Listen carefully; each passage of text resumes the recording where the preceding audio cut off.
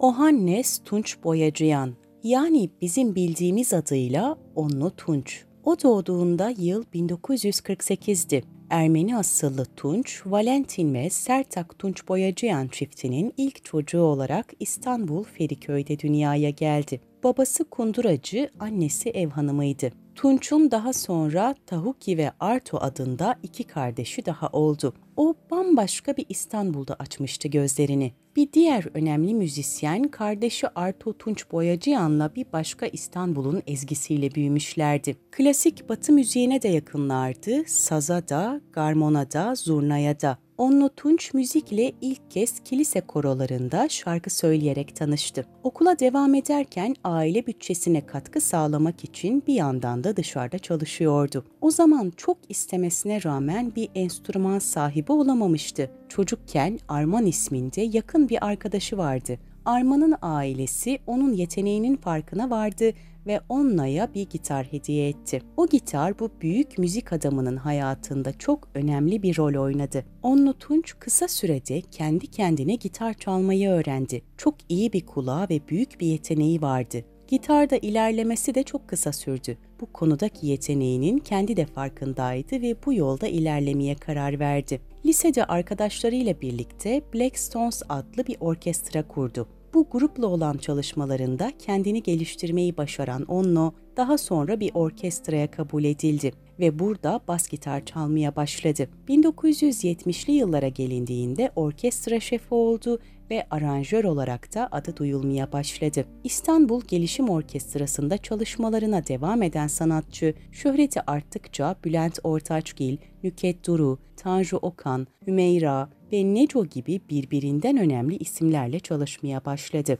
1975 yılında Eurovision'da orkestranın basçısıydı. 1978 ve 79'da yine aynı yarışmada bulundu. 1981 hem Onno Tunç hem de Türk pop müziği için önemli bir yıldı. Onno Tunç'un ilk bestesi Seninle 1981'de Nüket Duru'nun icrasıyla yayınlandı. Onno Tunç sonrasında sayısız çalışmayla ölümsüzleşti adeta. O Apollon saraylarından çıkma bir müzisyendi ülke ülke gezmiş bir bilgenin kulağına sahipti. Onlu Tunç'un şarkılarını hatırlıyor musunuz diye sormayacağım. Çünkü biliyorum ki müzikle iç içe olan biriyseniz mutlaka biliyor ve dinliyorsunuzdur. Onlu Tunç Türkiye'de pop müziğin gidişatını değiştirdi ve müzikal anlamda önemli bir miras bıraktı arkasında. Her şeyden önemlisi müziği çok iyi bilen bir sanat insanıydı o. Basçıydı, besteciydi, aranjördü. Sadece pop müziği değil, klasik batı müziğini ve doğu makamlarını da çok iyi biliyordu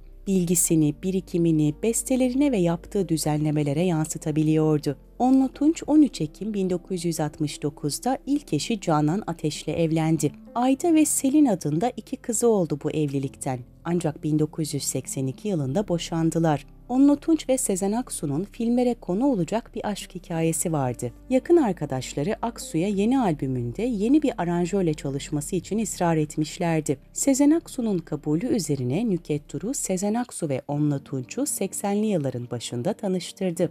Nüket Duru yıllar sonra bu tanışmayı gözlerinden çıkan kıvılcımları görmemek imkansızdı. Hınzırca birbirlerine laf atıyor, çaktırmadan bakışıyor ve sürekli flört ediyorlardı. Aralarındakinin aşka dönüşeceğini daha ilk andan anlamıştım cümleleriyle anlatmıştım. Onlu Tunç'un zekası, üretkenliği, karizması Sezen Aksu'yu çok etkiledi. Bu başarılı ikili Aysel Gürel'le birlikte Sen Ağlama albümü için uzun saatler stüdyoda çalışmaya başlamışlardı. Zaman geçtikçe daha da yakınlaşan ikili yeni bir aşka yelken açtı. Bu aşkın en yakın şahidi Aysel Gürel'di. Onların bu büyük aşkından Sen Ağlama, Git, Sezen Aksu 88 gibi nice albüm doğdu. Aşkları çok büyüktü evet, çok mutlu gibi gözüküyorlardı. Ancak yakınları tarafından anlatılanlara göre Onlu Tunç ve Sezen Aksu'nun şiddetli kavgalar yaşadıkları da oluyordu. Sezen Aksu, Onlu Tunç'la olan bir anısını Hürriyet'e verdiği röportajda şöyle anlatmıştı. Ne diyorsun sen Onlu diye namluyu doğrultup kapıya fırlayınca bu adeta ışınlandı, yok oldu birden.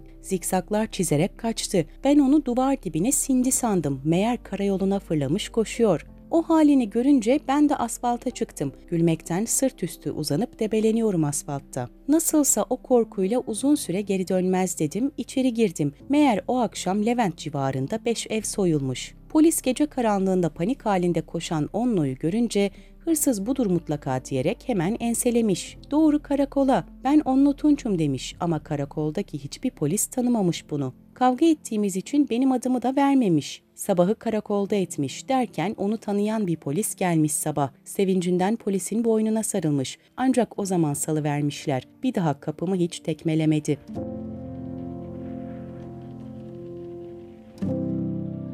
Bu kavgalar kimi zaman Sezen Aksu'yu günümüzde hala severek dinlediğimiz Git şarkısını yazmaya etmişti. Sezen Aksu sevgilisiyle kavga ettiğinde soluğu Nüket Duru'nun evinde alıyordu. Ancak bu ayrılık çok kısa sürüyordu. Kavgalardan ve kalp ağrılarından yıpranan ikili 1992 yılında ayrılmaya karar verdi. Ancak sanatlarını icra edebilmek için bir süre birlikte çalışmaya devam ettiler. Onlu Tunç Nilüfer'le tekrar bir araya gelip çok iyi albümler hazırladı. Ayrıca Zuhal Olcay'dan Aşkın Nur Yengi'ye kadar yeni seslerde onun müziklerini taşıdı. 90'lı yıllarda Aşkın Nur Yengi, Bülent Ortaçgil, Harun Kolçak, Nilüfer, Zerrin Özer, Ayşegül Aldinç gibi bir sürü ismin albümlerinin müzik direktörlüğünü üstlendi. Asya, Yeşim Salkım, Ben Deniz, Emel Müftüoğlu ve Rüya Ersavcı albümlerinde Tunç tarafından bestelenen veya düzenlenen şarkılar vardı. Ölümünden önce en son Levent Yüksel'in ikinci CD'siyle Düş Bahçeleri albümüne katkıda bulunmuştu. Ayrıca Ah Belinda, Yağmur Kaçakları, Rumuz Goncagül, Büyük Yalnızlık, Tersine Dünya, Eylül ve Dünden Sonra Yarından Önce gibi filmlerin müziklerini besteledi. Pop müzik bestelerinin yanı sıra solo saksafon ve orkestra için Su adında bir parçası vardı. Bülent Ortaçgil'in Benimle Oynar Mısın, Oktay Temiz'in Zikir ve MFÖ'nün Yalnızlık Ömür Boyu, Mustafa Sandal'ın Beni Ağlatma şarkılarında bas çaldı. Yaptığı düzenlemelerdeki armoniler, orkestralama tekniği ve yakaladığı soundla Türkiye'deki pek çok müzisyen tarafından takip edildi. Onlu Tunç 1996 yılında Bursa'dan İstanbul'a dönerken arkadaşı Hasan Kanık'la birlikte kullanmakta oldukları Nurettin Hasman'a ait Bonanza tipi uçağın Selimiye köyü yakınlarında düşmesi sonucu arkadaşı Hasan Kanık'la birlikte hayatını kaybetti. Düşen uçak uzun süren arama çalışmaları sonrasında bulunabildi. Cenaze töreni için kardeşi Arto Tunç'un yurt dışından dönmesi beklendi ve Onlu Tunç ölümünden 5 gün sonra Beyoğlu 3 Horan Ermeni Kilisesi'nde yapılan ayin sonrası Şişli Ermeni mezarlığına defnedildi. Sezen Aksu 2018 yılında verdiği bir röportajda o kaybın kendisi için ne ifade ettiğini şu cümlelerle açıklamıştı. 22 senedir Onno'yu rüyalarımda görmediğim ve anmadığım tek bir gün yok.